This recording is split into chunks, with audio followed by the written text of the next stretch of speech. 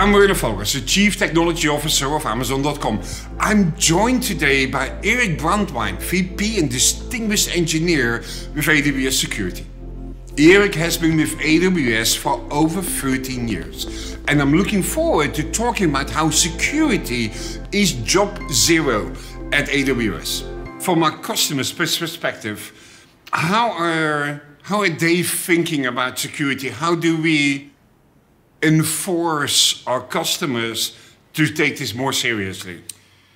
In security, uh, there are constantly challenging trade offs. And so the, the path that we've taken in AWS is that our services are usable but secure by default. So, for example, in S3, when you create a new bucket, that bucket is only accessible by the account owner and only via authenticated and authorized API calls. However, lots of our customers like to use their buckets for serving web assets or things like that. And so we give our customers the tools to configure them as they want. Now, once the customers have configured them, we have another set of controls, things like block public access and warnings in the console, so that customers can quickly and easily understand the configuration of their AWS resources and make sure that it's in accordance with their expectations. If you think about sort of uh, the, the, the, challenges and the risks that our customers are facing, how are they evolving? And how do we as AWS help our customers protect themselves? I think that the, the most important change that's going on for our customers is with each of our individual customers. Every day that we have a customer that becomes a, sophisticated customer that's adopting many of our services and very finely controlling their use of encryption, we have another customer that's just starting out on their AWS journey. And so it's very important that we grow with these customers as they progress. And so our controls, our security controls, our encryption controls, our auditing controls are designed to be easy to turn on at first, but then to grow in richness and complexity as the needs of our customers evolve over time.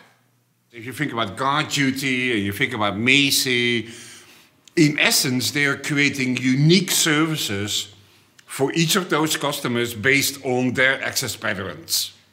So the role of, the role of machine learning is uh, crucial there. Absolutely. I, I think that security in the cloud is a magical recipe. Security has fundamentally become a big data problem. Uh, any any non-trivial system, regardless of where it's hosted, is going to generate a ton of logs, a ton of telemetry data coming out of it.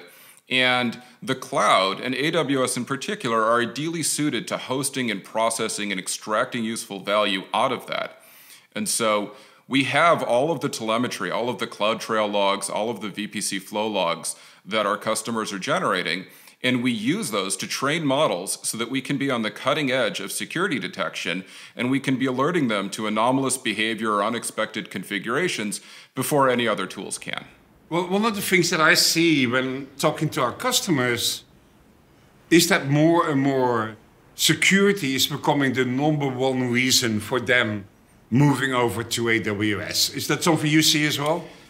It, it is indeed something that I've seen, and it's very satisfying to me professionally because when I started at AWS, uh, most of the conversations I had with people about Amazon Web Services started with explaining that I didn't work for the bookstore, that, that we actually had a cloud at Amazon.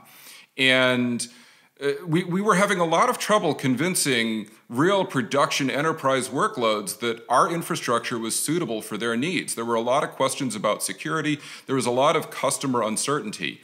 And over the past 13 years, that conversation has completely flipped. The amount of customer trust that we've earned is truly humbling. And yes, I have seen customers going to AWS specifically because of the security that we offer them. Originally, what are the kind of things that we did right such that we can evolve this over time into where we are now? One of the things that AWS, I believe, has always gotten right in security circles, people talk about CIA confidentiality, integrity, and availability. And from the very beginning, AWS added a D to the end of that durability. We've always had an incredible focus on the durability of the data that customers entrust to us, making sure that it's still there when they ask for it back. And I, I, think that that has served us incredibly well. Even before there was a security team, the S3 team took durability incredibly seriously, and they've maintained that through the years. So, can you talk a bit about sort of the continuous evolution of security against bad actors that are equally smart and evolving. Absolutely. One of the nice things uh, about the AWS that we have today is the absolute wealth of data that we have, the, the telemetry that we're taking from our systems. And that allows us to build very precise models of what normal looks like and what abnormal looks like. And that's enabled us to respond to these adversaries. We may not know what techniques they're using, we may not know who these adversaries are, but the fact that they've deviated from prior behavior, the fact that they are acting unlike our regular customers, allows us to very quickly zero in. And that hint is all we need. Once, once we've identified the bad actor, once we've spotted the anomalous behavior, our investigators can go really deep really quickly. Am I right in assuming that what bad actors are most looking for is more data than compute? So S3 is really the the trove of uh, of unique um, uh, gold that they're going after. There's all sorts of bad actors out on the internet, but if you look at any computer system, if, if your database has a problem, you restore it from a backup. If your laptop has a problem, you restore it from a backup. Where do you get your backup? Your backups are all stored in S3. That's the bottom turtle. That is the storage system at the bottom of the stack. And so that's where all the data is. And because it is so important to our customers and to us, it is the ultimate root of durability, we protect it with commensurate attention. Eric, thank you very much for talking to us. Um, you have helped us and our customers be more secure in ways that I would never have anticipated when we started all of this. So for 15 years of secure computing and storage, thank you very much. Thank you, Werner. It's been an amazing journey, and I look forward to the next 15.